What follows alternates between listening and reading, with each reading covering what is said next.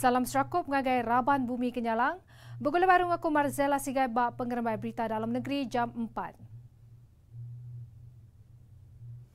Belalau ke pengeranati dekat Medan Rakyat Mansang, Perintah Sarawak ngagi ke ungkup atau ke wang turuk ti besai ngambil ulih nangkup peminta ti diranda ke rakyat. Ketebal lagi ungkup dikena ngemun ke perengka guna mensia mayuh, baka bekal karan serta bekal air. Niteka pada Kepala Menteri Datuk Patinggi Abang Zohari Tun Abaji Openg, Perintah Gabungan Parti Sarawak GPS majak ngemun serta berjalan ke mayuh bengkah program inisiatif ngangkat ke tikas pemansang di menua pesisir. Kuya dengan hasil penatai negeri ti tegap, Perintah Sarawak ngemendar ungkup lebih 5 bilion ringgit dalam tempoh 2 tahun ngemun ke projek Sawas, Sares serta Grid.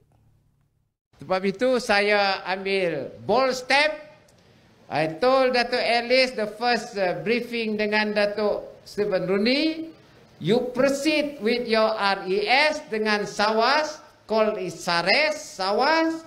Kalau nak duit 5 bilion, we give from the state fund 5 billion. Lepas ya peninjau palak seni cari duit. But I got a model, a business model for us to have the right funding. Tapi thank God I got the formula. Pengerambai Bukai lebih berjakut tentang projek perengkah guna Mensia Mayuh, Kepala Menteri Datuk Patinggi Abang Zuhari Madah Sarawak Nagit 100% selampur menua Sarawak ngasai ke bekal air ngau karan 24 jam bat tahun 2025. We got additional power.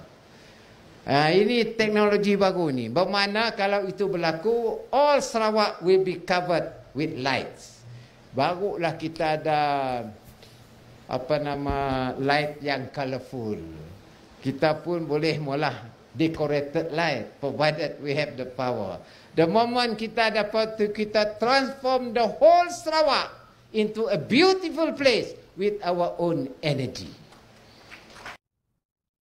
Perkara itu dipedak bisik pemartang Perintah Sarawak ti diketuai ke Gabungan Parti Sarawak GPS ngemuan pengepuh nak ngetu ngadu transformation perengka gunanya.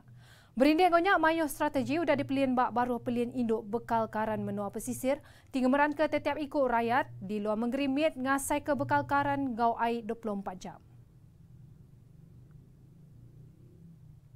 Projek Keterubah Program Berumah Uli Dempu Sri Pertiwi berengkah digagak pengudah dilancar Maya bulan Februari itu. Ku Menteri Pengawal Berumah Ngau Kaunsil Kandang Menua Datuk Sri Dr. Sim Kuhian, projek Hari Perintah Sarawak di Kemansang bergempung ngau sukut peribit grup Serikat Sendayan Tik Nyadi Pemaju. Nur Berumah tu menyediakan lebih 300 unit rumah rega baru hari RM295,000 seunit.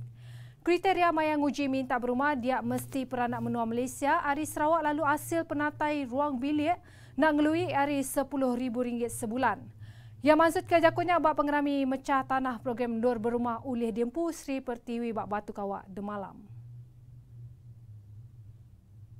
Nyajak lansap berita iban hari aku Marzela Sigai. Mada ke dirimu dulu. Terima kasih.